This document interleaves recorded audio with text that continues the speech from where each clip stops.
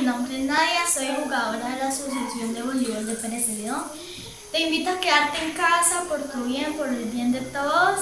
Quédate en casa. Buenas, mi nombre es Derek Fernández, soy jugador de la Asociación de Voleibol de Pérez León y en esta cuarentena los invito cordialmente a que se queden en casa por el bien mío, suyo y de todos los demás. Quédate en casa.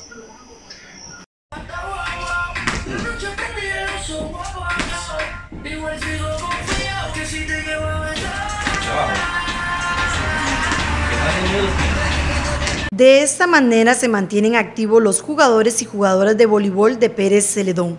Debido a la afectación del COVID-19 en el país, este tipo de deportes colectivos no se pueden realizar.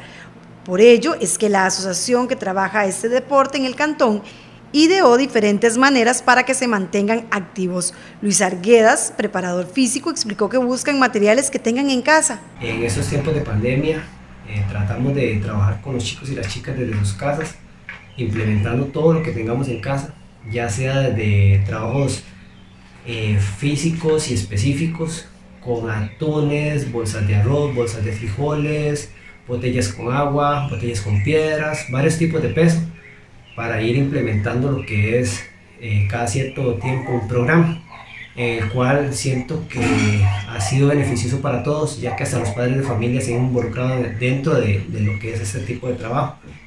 Eh, es muy satisfactorio cuando uno encuentra el apoyo familiar dentro de, todo este, dentro de todo esto que está sucediendo. Y creemos que esto va a ser algo muy bueno para lo que es el deporte en sí. Hay más unión de familia, eh, creemos que a la hora de trabajar con ellos eh, dentro de sus hogares ha sido fenomenal, ha habido un apoyo mutuo y esperemos en Dios y que esto pase pronto y podamos volver a nuestro querido deporte del voleibol.